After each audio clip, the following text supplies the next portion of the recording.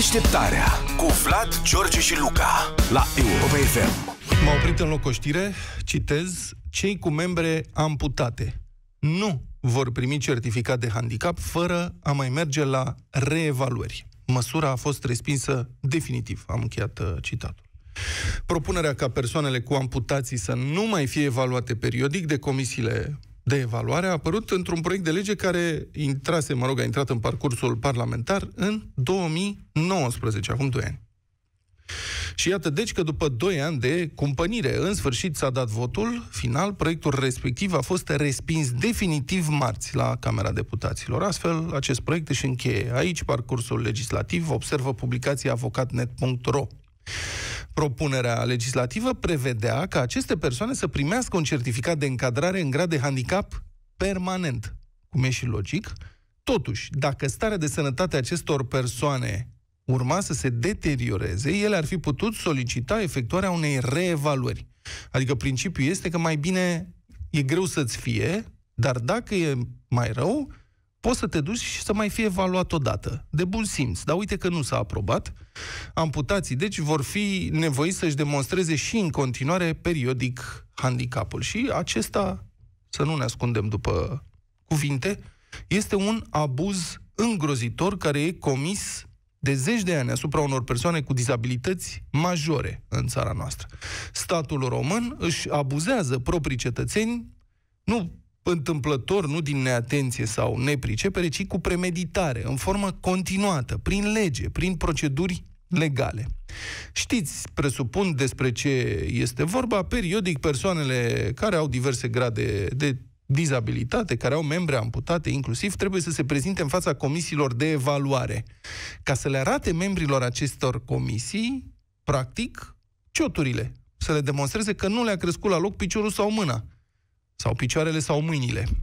Și despre abuzul acesta vorbim și scriem de zeci de ani, adică făceam eu reportaje despre asta când eram la ziar, în anii 90. Se fac filmări pe la centrele astea din când în când. Te gândi că în atâția ani statul, funcționarii, parlamentarii ar fi putut ajunge la concluzia că e timpul curmării unei umilințe cronice și inutile. Dar iată că nu. Și nu poți să nu te întrebi, la ce s-or fi gândit parlamentarii care au votat împotriva acestei prevederi? Pe asta. De ce să fii împotrivă? Trebuie să te gândești la asta. Și singura explicație este că statul român își consideră cetățenii, toți cetățenii, infractori. Mai înainte de orice. Adică, Iată, persoana cu amputație se prezintă la comisie ca să demonstreze dizabilitatea și, în schimb, primește o adeverință, un certificat care îi oferă anumite compensații. Iar funcționarii care au definit la momentul respectiv procedura evaluării, probabil că s-au gândit, dar dacă petentul face cumva o șmecherie, dacă dă o șpagă și obține un certificat fals de handicap, că e foarte posibil, nu? Adică s-a mai întâmplat. Nu putem să ne ascundem după degete. Da, da. Bun. Și atunci funcționarii ăștia au zis, da, nu mai bine îi verificăm noi periodic, să vină și cu certificatul și cu piciorul lipsă. Să vedem dacă nu cumva a driblat, mă scuzați, sistemul și trebuie, îi plătim noi degeaba amărâția de bani. Și uite, așa se observă că, în primul rând, funcționarii puși să facă verificările n-au încredere în propria lor corectitudine, dar nu plătesc tot ei. Adică pentru că de teamă ca nu care cumva câțiva escroci să păcălească sistemul, mituind comisiile, lucru care nu poate fi exclus, prezumția de vinovăție este aplicată tuturor cetățenilor care au nevoie de aceste servicii. În logica răsucită și chircită a statului român, toți cetățenii cu dizabilități trebuie să demonstreze ei că nu sunt vinovați, în loc ca statul să caute, să identifice el cazurile în care vreunul înșeală sistemul. Adică trebuie să te duci să demonstrezi tu că nu ești vinovat, în loc ca statul să-i caute pe aia care sunt vinovați și să-i sancționeze. Asta e țara în care trăim. Păi atunci zic și eu că poate că în aceeași logică parlamentarii care au menținut acest sistem umilitor și abuziv, organizat împotriva unor cetățeni care sunt oricum loviți de soartă, poate că acești parlamentari încuiați și suspicioși ar trebui puși să urce scările de la Parlament în mâini, măcar o dată pe lună, ca să demonstreze periodic ei că fiecare dintre ei poate vota cu mânuțele lui. Că are mânuțe și că votează cu ele nu cu ale altcuiva. Suntem foarte atenți la tot ce ne scrieți și ne spune. Sunt foarte, foarte multe mesaje după intervenția de la ora 8 și 10 minute, intervenția în care am vorbit despre faptul că persoanele cu amputații vor fi nevoite să se ducă în continuare în fața comisiilor de evaluare, periodic, ca să demonstreze că nu le-a crescut la loc membrul amputat, o porcărie îngrozitoare, multe mesaje, cum spuneam, reacții de dezamăgire, de indignare, Acum aș vrea să difuzăm un mesaj anume, un mesaj audio pe care ni l-a trimis uh, unul din ascultătorii noștri, Paul, care spune așa că precizează că este psiholog clinician implicat activ în diagnosticarea copiilor cu tulburări de dezvoltare și zice, deci știu ce spun, copiii fără nicio șansă de recuperare merg anual la comisii ca să fie evaluați și să li se dea în continuare certificat. Și iată mesajul lui Paul, vă rog să-l ascultați cu atenție. Bună dimineața, băieți! Cred că v-ați gândit și voi că adevăratul motiv pentru care aceste reevaluări ale persoanelor care, clar, n-au cum să mai obțină niște mâini sau niște picioare, uh, aceste reevaluări se fac periodic doar cu scopul de a-i menține în funcții pe unii care plimbă o hârtie din stânga în dreapta. Vă dați seama ce număr imens de persoane și-ar pierde uh, locul de muncă, acești băgători de seamă, care nu fac decât să plimbe o hârtie dintr-un birou într-altul.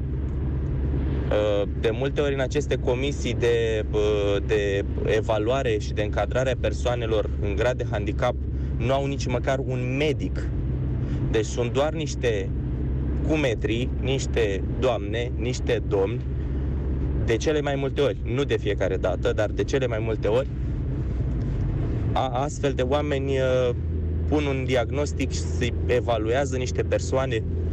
Vă dați seama că nu au cum să nu au cum să dea o astfel de lege pentru că toți acești funcționari plătiți și plătiți bine, cred că salariile nu sunt sub 5.000 de lei, Uh, ar rămâne fără locuri de muncă. Și atunci, evident că îi chemăm pe vieții oameni care și așa sunt oropsiți, și așa sunt loviți. Îi chemăm să-i mai umilim și noi încă o dată și încă o dată și încă o dată, cerându-le să se prezinte să vedem același ciot pe care l-am văzut acum un an sau acum doi ani, doar de dragul de a încasa noi salariile. Este trist și mă întreb sincer dacă mai avem vreo șansă să ne facem bine.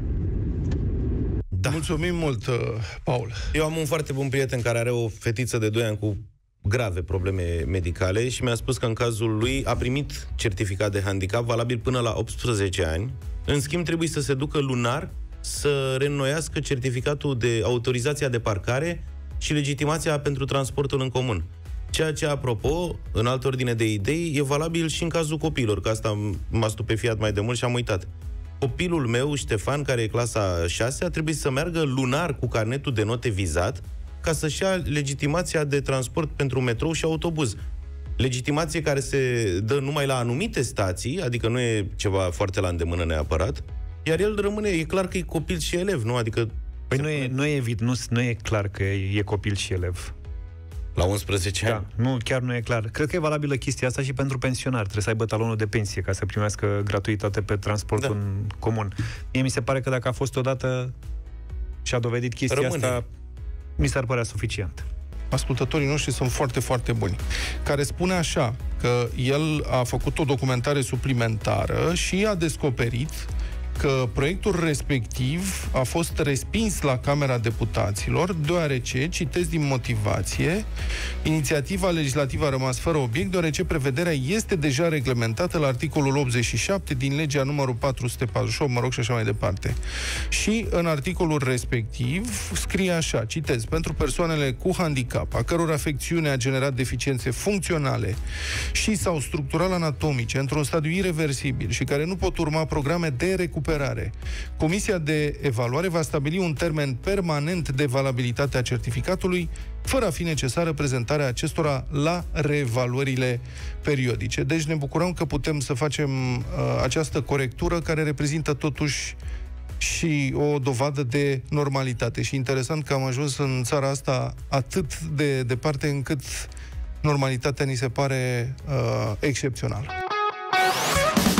Deșteptarea cu Vlad, George și Luca la Europa FM.